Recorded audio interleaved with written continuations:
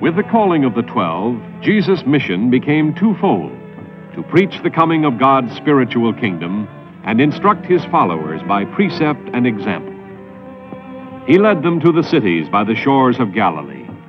And on a day when they had journeyed to the countryside, a man lay ill in Capernaum, the slave and servant of a Roman centurion. Uh, The medicine. he can't swallow. Paralysis has gripped him. Well, can't you do something? If the seizure passes and he survives, I've done all a physician can do. His life is in the hands of the Lord.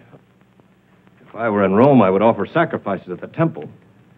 Would your God accept a gift from a soldier of Rome?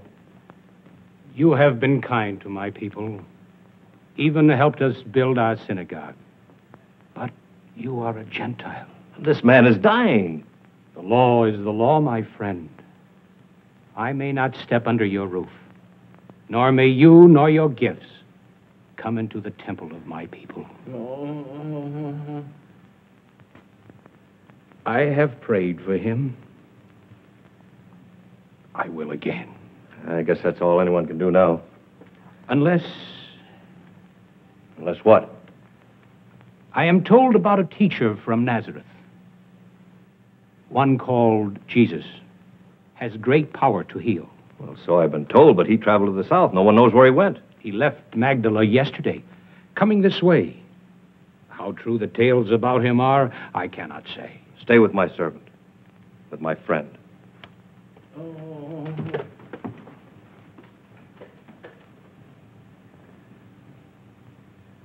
I am poor and needy. Hasten to me, O my God, for thou art my help and my deliverer. O Lord, do not tarry.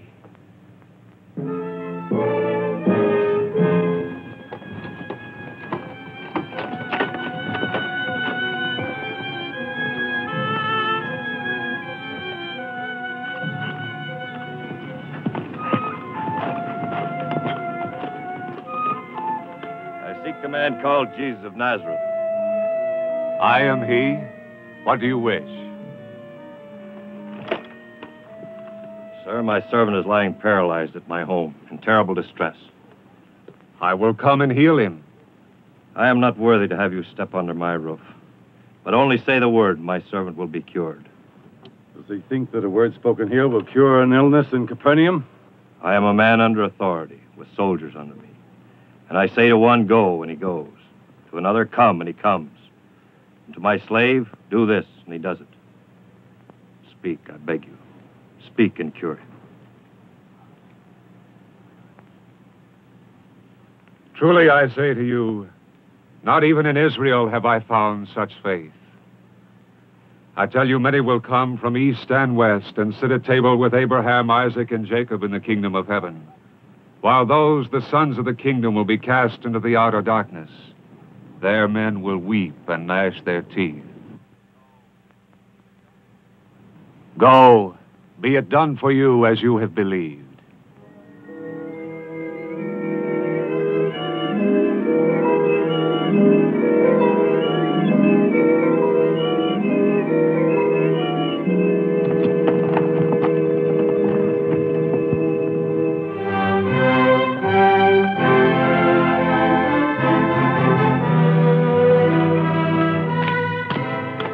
Master, you found the Nazarene I did. at about the seventh hour? Yes?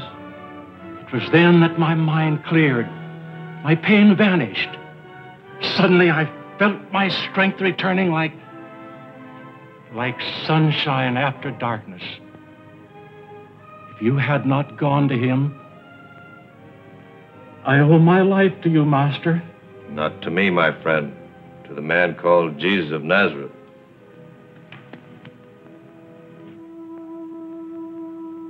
And it came to pass.